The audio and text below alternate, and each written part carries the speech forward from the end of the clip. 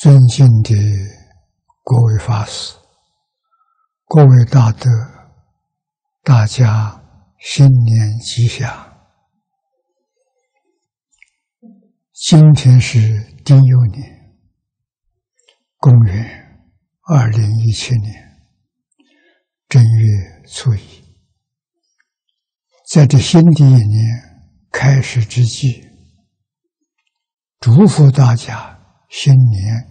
新希望，身心健康。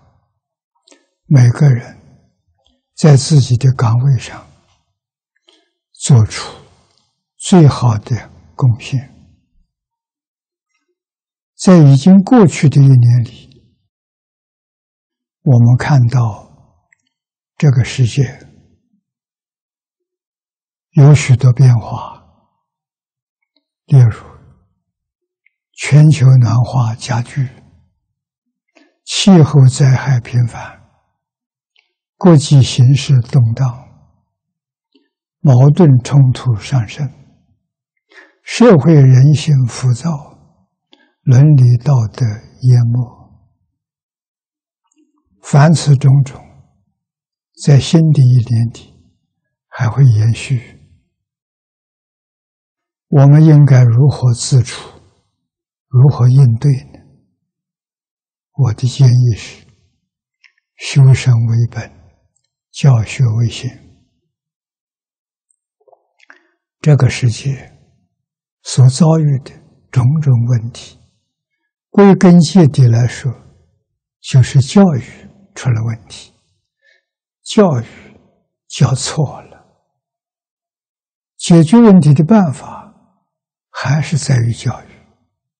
必须推展伦理教育、道德教育、因果教育和圣贤教育这四种普世教育，正是中华传统文化的精华所在。所以，弘扬中国传统文化，就能解决世界的问题。挽救世界的危机。中国古代圣哲孟子在两千三百多年前就预见到这个问题。他说：“上下交争利，而过为义。人与人之间，如果把利益摆在第一位。”互相争夺利益，弃道义于不顾，那么家就不成家，家庭为一；社会也不成社会，社会为一；国家不成为国家，国家为一；地球也不成地球，地球为一。这不就是今天我们所遭遇到？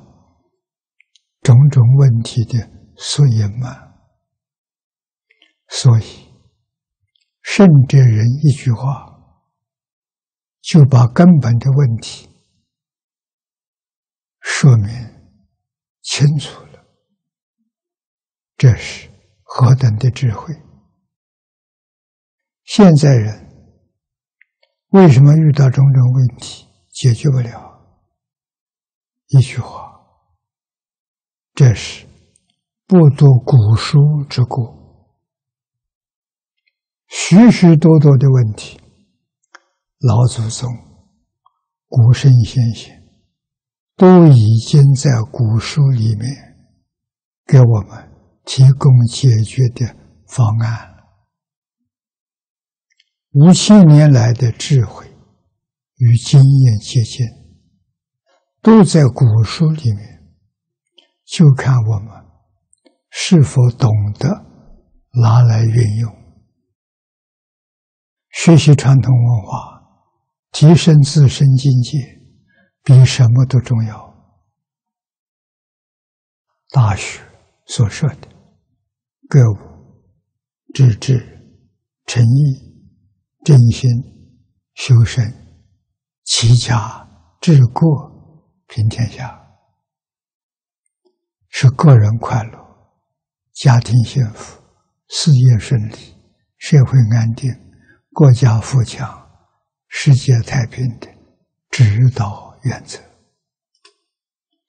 如果每个人都接受传统文化的四种普世教育，以修身为本，认真落实，这个社会就会越来越祥和，越来越安定。地球上的种种问题也都能得到改善。我们过去一直想办学，弘扬传统文化，但是一直没机会。现在机缘成熟了，英国威尔斯大学校长非常热心。跟我们合办英国汉学院，目的是振兴古汉语，培养有能力研读、讲解、翻译、落实《四库全书》的识字人才，将传统文化弘扬到全世界，真正。为往圣继绝学，为万世开太平。现在这件事已经顺利的在进行，我们相信中华传统文化一定能够复兴起来，世界走向安定和平是指日可待的。